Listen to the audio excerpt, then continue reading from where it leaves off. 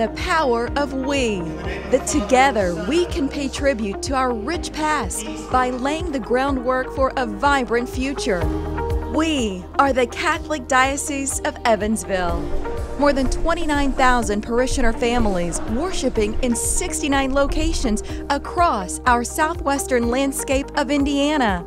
Many parts, Behold the Lamb of God. all one body in Christ. The Diocese of Evansville is a wonderful place to discover the love of Christ. Each community in the Diocese of Evansville is unique, but they all fit together in a really wonderful way.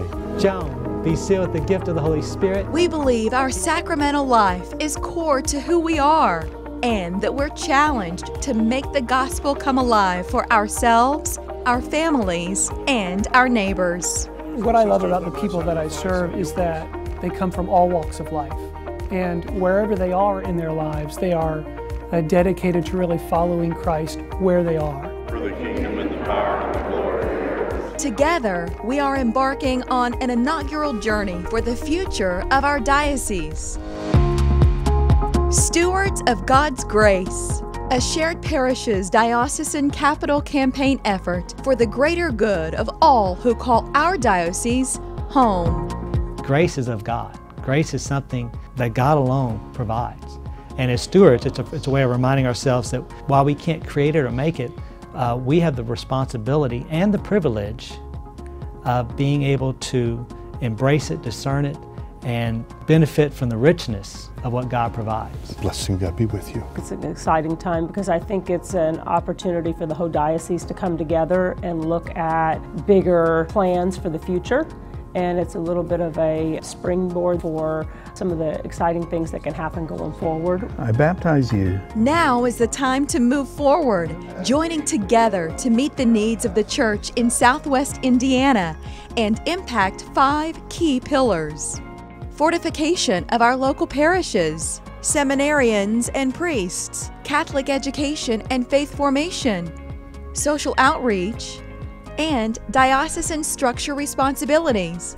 Stewards of God's grace will have a positive impact in every corner of our diocese, starting with our parishes.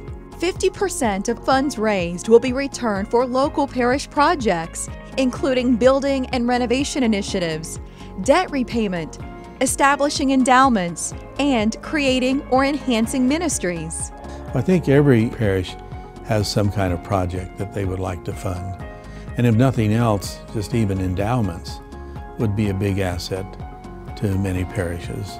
So when the diocese is providing that for us and helping us to address some of the needs that we have, it's a tremendous help to us. It takes so much uh, weight off of our shoulders. All glory and honor is yours.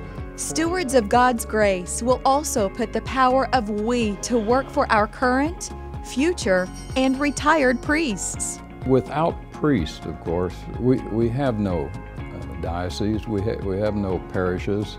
They're our leaders and, and we need them. So we need to be actively recruiting new priests and, and helping form them and guide them.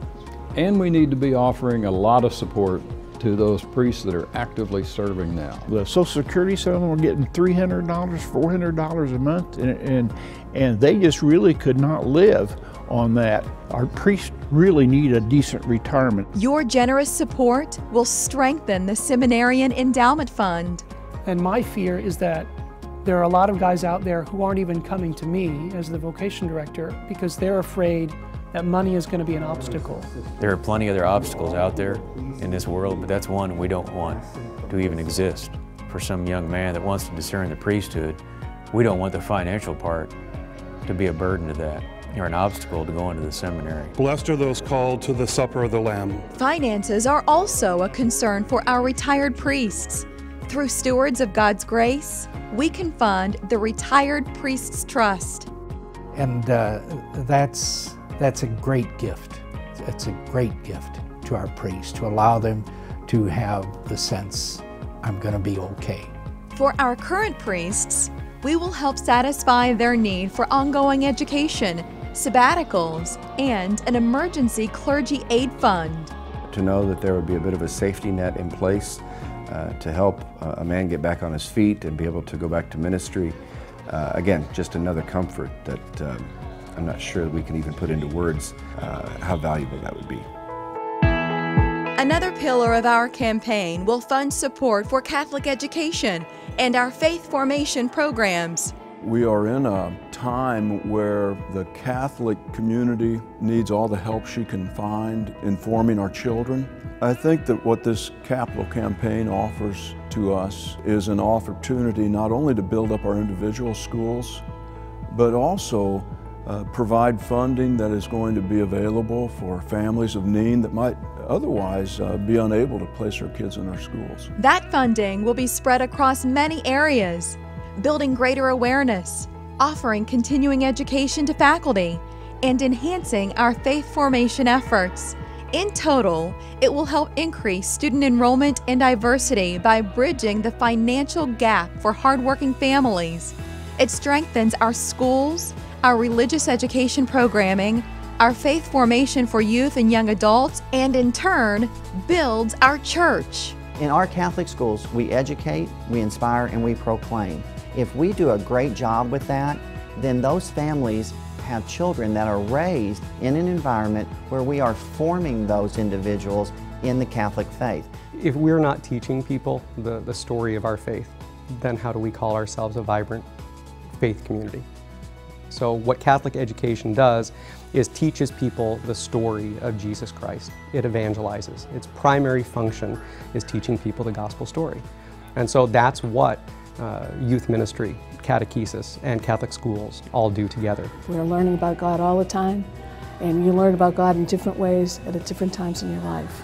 And I just think that education is fundamental to who we are, but it's also formation, formation as a person.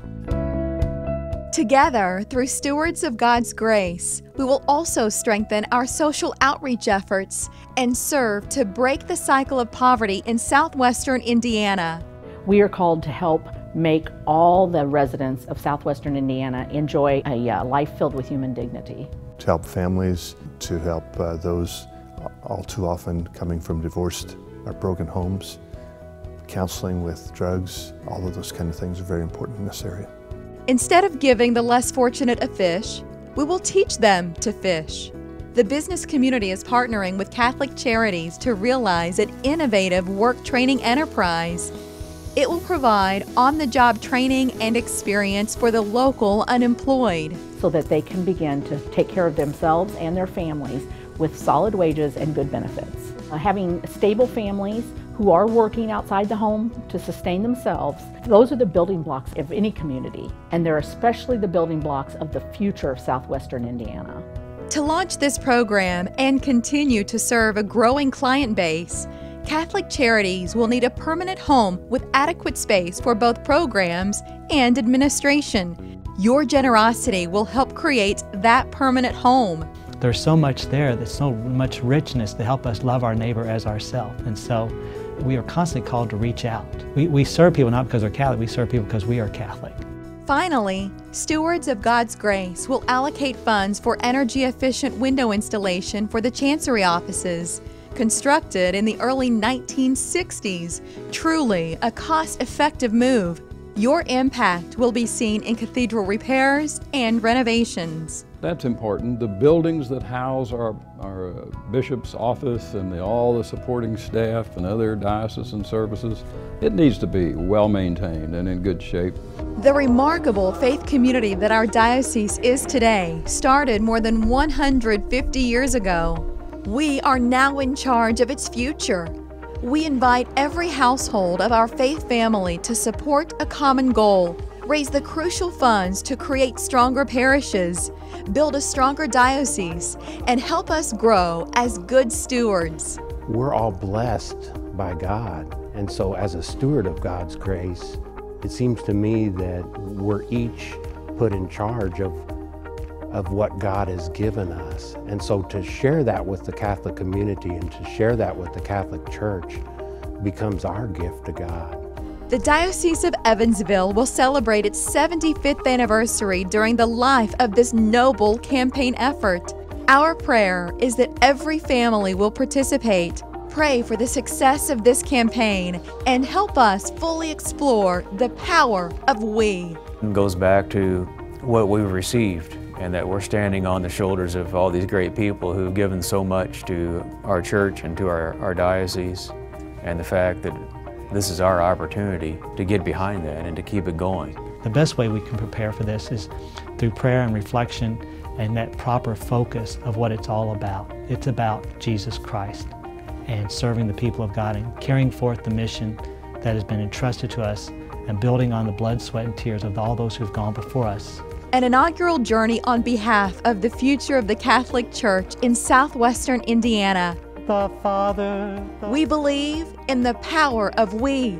We are stewards of God's grace.